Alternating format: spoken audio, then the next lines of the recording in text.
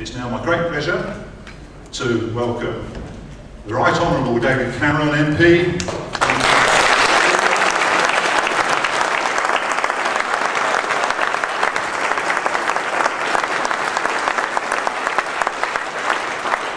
Thank you very much. Thank you for that introduction. Great to be here in Luton. As it says behind me, this is Cameron Direct, so no long speeches, I promise. I just want to say why I'm doing these meetings.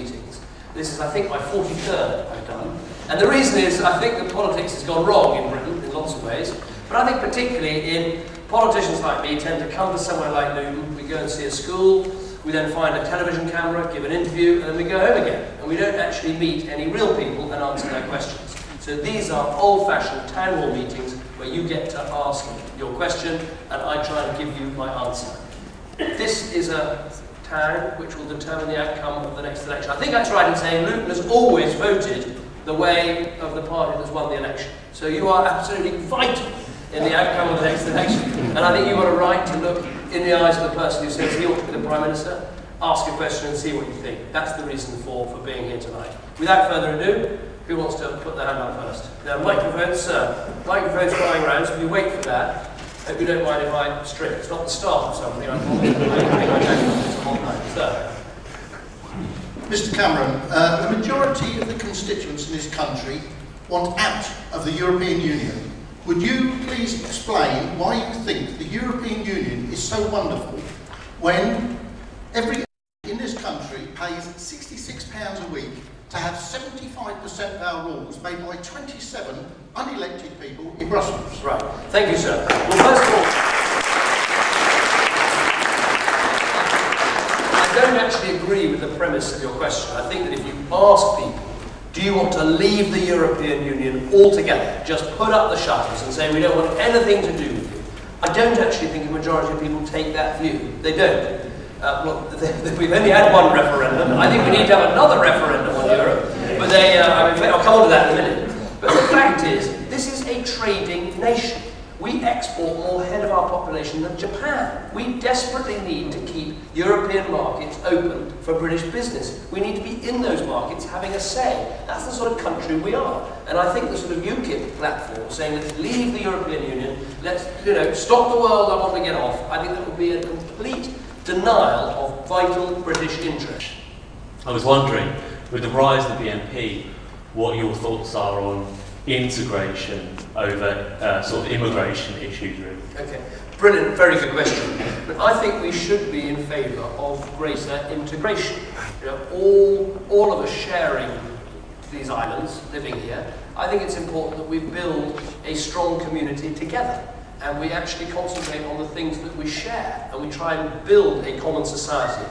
Rather than I think what we did a bit in the 70s and the 80s, have this view of sort of state multiculturalism, I'd call it, of keeping people in their different boxes and saying, well, of course, the British Muslim community will fund them separately and they live in this box over here, and the British uh, Hindu community, they're over here. And we think that was wrong. I think what we ought to be doing is making sure when people come to Britain that we um, teach English properly. If you're not, if you're not speaking the, the mother tongue, it's very difficult to be integrated into our society, to join in things like parents' evenings, and all the other things that the community offers. Why, why has uh, Britain never interfered in Rhodesia or Zimbabwe? When is it because we installed Mugabe? No, it's not. No. um, interfere, as it were, in Rhodesia because it was a um, it was a colony. Uh, the reason I think the British government found it difficult to be more aggressive against Mugabe was was two reasons. One is um, uh, that Mugabe always used Britain as the sort of imperialist power trying to bring back white domination in rubbish, but it was an effective tool for him to beat uh, the British with and beat the press with. So I think the British were at a disadvantage. The second thing is that you do have to be careful in politics that your words can be backed up with actions. And I don't think that anyone was really thinking that Britain was somehow going to, you know, what, try and change the regime through force. So what the British government has had to try and do, and I think sometimes they've been a bit weak about it, is to put pressure on Mugabe through sanctions, through um, travel bans, He was saying to ZANU PF and all the rest of it, you can't come to Britain uh, uh, and you can't come to Europe. And let's be honest, some change has now come about. Morgan Tsvangirai is now the Prime Minister of Zimbabwe. He was imprisoned and beaten for his beliefs. He belongs to a different political party to Mugabe. He came to London recently. I had a very good meeting with him in my office, and I looked him in the eye just as I'm looking you in the eye, and I said, you know, how are you going to cope with working with this monster Mugabe? Are you sure he's not going to double cross you, or you know? And Morgan Tsvangirai really believes that change can come about in Zimbabwe, and there will be honest elections, and in the end, Mugabe will go. In your own words, you say we need to mend broken Britain and um, state your mind of being stories. In the next 10 years, Britain is set to become the abortion capital of the world. Can we not see that even in conflicting messages of saying to women, you can kill this mum because you can't see it, but you need to love this child because it's born, is giving out conflicting messages to society? Well, I, I, I don't entirely agree with that. I, I, I am in favour, I'm not, let me put it this way, I, I agree with Nadine that perhaps having a different time limit on abortion is appropriate. I I voted for uh, reduction from 22 weeks down to potentially 18 or 19 weeks. I think that is sensible because there is some evidence now that, um, that you know, fetuses born at that level could actually survive. But I'm not in favour of outlawing abortion or banning abortion. Um, it, it is, you're right to say that the level of abortion in Britain is, is very high and we need uh, better education and, and better birth control and everything else to try and bring it down. Uh, but I'm not in favour of getting rid of the right to abortion. I don't want us to go back to backstreet abortions and all, all the rest of it.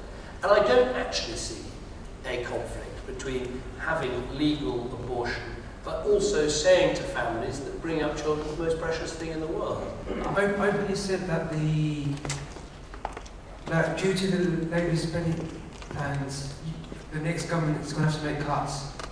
Where, if you were to be re-elected, where would you be making cuts? Okay.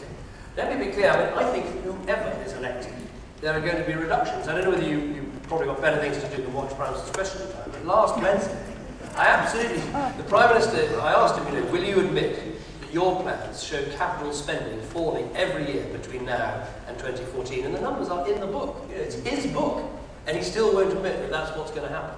So I think the first thing, base one, if you like, base one is to admit that we are going to have to make reductions. That's important because then everyone is prepared for what has to happen. Base two is, I think, starting to outline some of those things that, frankly, we ought to cut. I would like us to get rid of national identity cards and the identity database. I think it's a tremendous waste of money and we can do without. I'd like us to get rid of the contact point database on which all our children's details are going to be entered. I think that it might have some uses, but I think the money could be better spent. I'd like to get rid of that. I'd like to roll up this whole regional state, the regional assemblies, many of the regional development agencies, the regional spatial strategies, regional planning. Get rid of all of that. I think that would save us a huge amount of money. I'd like to take the government advertising campaigns. One of you probably watch a bit of TV like I do, or get up and go around the country. Railway stations are now inundated with these adverts telling us how wonderful the government is. Why are we paying for all of that? Let's cut that. The consultancy bills of government, massive. Let's get, so that's base two. I accept base three is the hardest base to reach, which is actually saying, right, now there are some things that are worthwhile, but because we are in such straitened circumstances, we cannot afford them. Now, that is where my party is at the moment. We are examining things like tax credits that go to um, relatively well-off families and saying, well, can we really afford that? We've got to look at all those defence contracts, things like carriers and Trident, and say, can we get better value for money uh, in, in terms of these things, even though they're very, very important to our nation's defence. Now, the difference between me and Gordon Brown is I have at least reached base two, and I'm working on base three. He has not even got to base one. He's still trying to convince everybody that he's going to win the election and spend lots of money and we're all going to be happy. It's a disaster.